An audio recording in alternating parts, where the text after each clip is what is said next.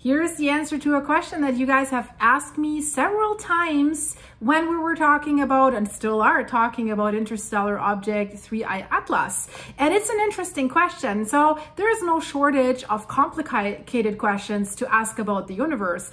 But sometimes the back to basic questions are the ones that many, many people are interested in and that haven't been answered uh, often enough. So the question is, if there's no oxygen in space, how is the sun on fire? Interesting question, right? Fire needs oxygen.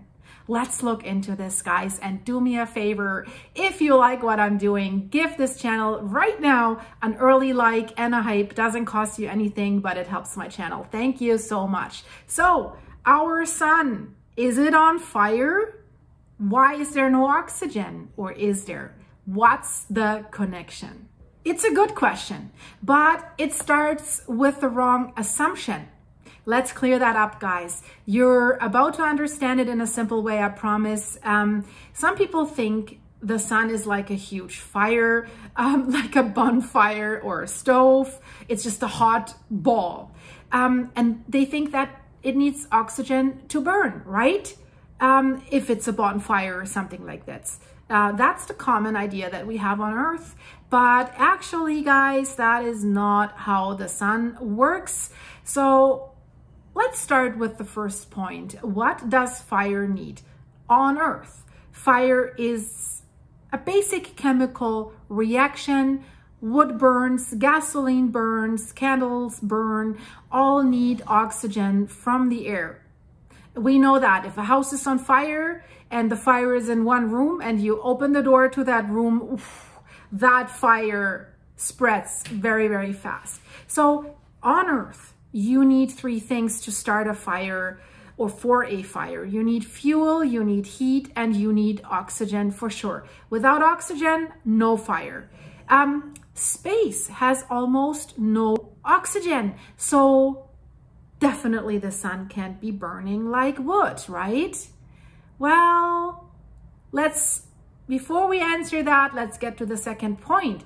Is there any oxygen in space? So there is a teeny tiny bit of oxygen out there. Yes, the scientists have found trace oxygen in some nebula clouds, but it's very, very rare, um, nothing like the Earth's atmosphere. And it's not what makes the sun shine, obviously.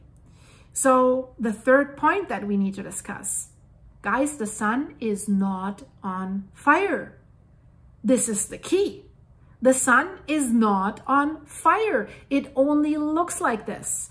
So the whole question, how is it on fire when there's no oxygen, is a bit of the wrong question. So the sun doesn't burn with flames. Um, it produces energy in another way. And now I know you have the question, how does the sun make this energy? So deep in sun, deep inside the core of the sun, things are very extreme in there. The pressure is enormous. The temperature is about 15 million degrees Celsius. And at those conditions, atoms behave very, very differently. And hydrogen atoms, they fuse Together, they combine into helium. And this is called a nuclear fusion. And fusion releases huge amounts of energy. That energy, guys, becomes the sun's heat and light, not oxygen burning. So think of it as not burning but more like atoms sticking together and then giving off the energy. That's the real power source of our sun. And why does this fusion work? Well, on Earth, we think of burning wood of gas. That's chemistry with oxygen. The process that is happening with the sun is different. It's physics, not chemistry. That's the difference. So fusion doesn't need oxygen at all. It needs pressure and it needs heat um, in order to be able to push the atoms together. So gravity inside the sun um, is squeezing everything. That is the crushing force that creates this fusion. And the temperature of the sun sounds really unbelievable, but the numbers here matter. At the surface, the sun is about five and a half thousand degrees Celsius hot, hot enough to vaporize anything instantly. But deep in the core where the fusion happens, it's around 15 million degrees, 15 million degrees. And now here's the surprising part. On Earth, can we replicate that? Can we create our own sun energy uh, machine, not the energy from the sun? Can we recreate this on Earth? Um, yes and no, rather no. Um, because on Earth, the reactors that we create must be even hotter than the sun. Not twice as hot, 10 times hotter than the sun. So inside experimental fusion reactors, the temperatures reach roughly 100 to 150 million degrees Celsius. Why? Because the sun uses gravity to squeeze the atoms together. We don't have that pressure. We don't. And so we replace it with heat. We have to. And at those temperatures, matter no longer exists as gas or, or solid. It becomes plasma, a glowing, charged, basically a soup of particles. Nothing can touch it. No container can hold it, obviously, right?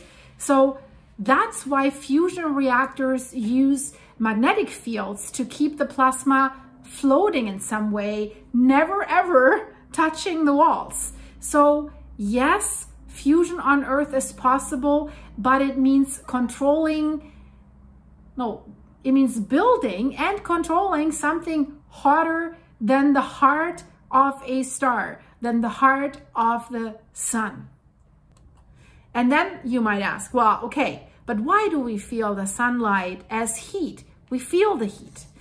Well, space is, is nearly a vacuum and there's almost nothing that can carry heat.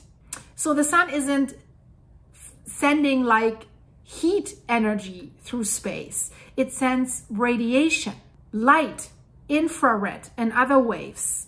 And then when that radiation hits our earth, it warms the air, the ground, and us. That's why we feel heat. I hope you like that, guys. If this was new to you, shared with someone who thinks the sun is on fire, um, because science doesn't always match what we imagine.